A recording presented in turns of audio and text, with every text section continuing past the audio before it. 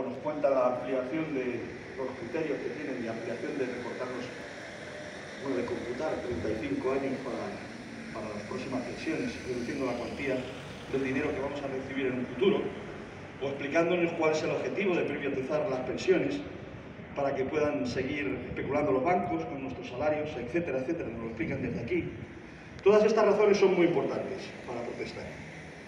Como también lo son muy, muy, muy importantes también nuestros objetivos que vienen aquí en la pancarta, para obtener una pensión mínima de 1.080 euros, para acabar con, con la brecha que, que hay entre hombres y mujeres, la brecha salarial, la obtención de un salario mínimo de 1.200 euros o la mejora de los servicios públicos universales, la sanidad o los cuidados, como ha hablado mi compañera anterior, que cada día se están deteriorando más.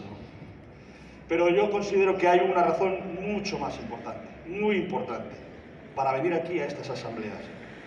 Esa razón es, se llama solidaridad. Euskaraz elkartasuna. Eta oso garrantzitsua da. Por eso, ¿y por qué es tan importante la solidaridad?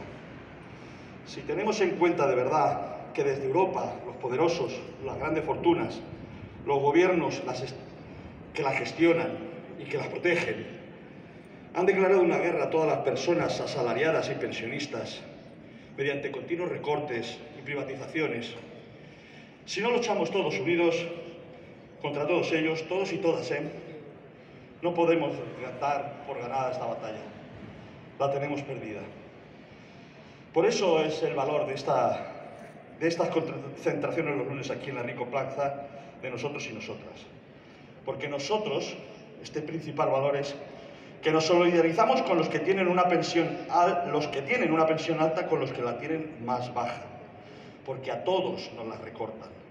Nos solidarizamos entre hombres y mujeres porque queremos la igualdad y romper con la injusta brecha económica que separa nuestras prestaciones. Nos solidarizamos los mayores con los jóvenes porque el futuro de su jubilación no puede ser peor que el nuestro.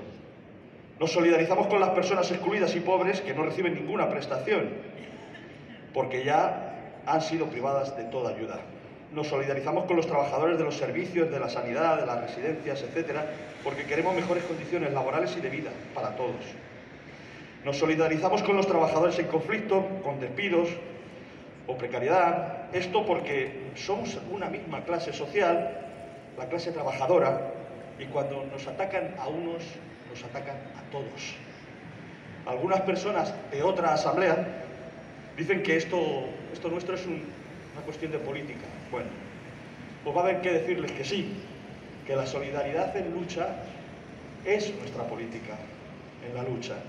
Es la única política que podemos y debemos hacer para defender nuestros intereses y nuestras condiciones de vida.